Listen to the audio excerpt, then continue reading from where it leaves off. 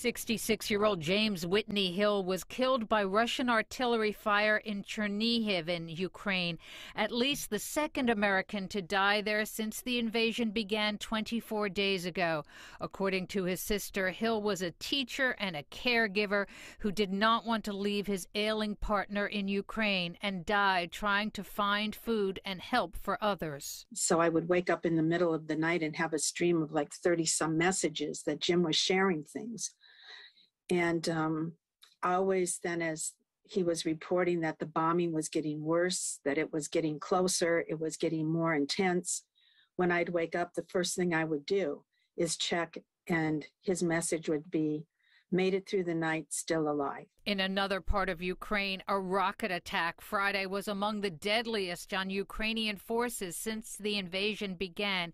It's believed as many as 40 Marines at the 36th Ukrainian Naval Infantry Brigade were killed in the south in Mykolaiv.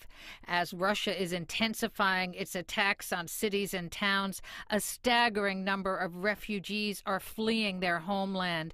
The UN estimates six and a half million have been displaced inside Ukraine, and more than 3 million have fled the country. I heard a lot of uh, like uh, noise, yeah, like it's firework, but then I went out to see on the window and I see that it's rockets. No, it's not fireworks, it's, it's a war.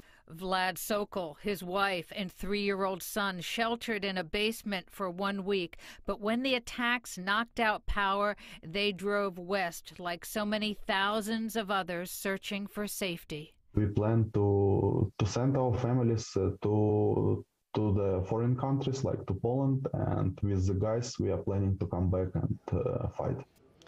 And the Ukrainian President Zelensky continues to call for direct negotiations with Russian President Putin, but an official said Putin is not ready yet. Back to you, Shirley.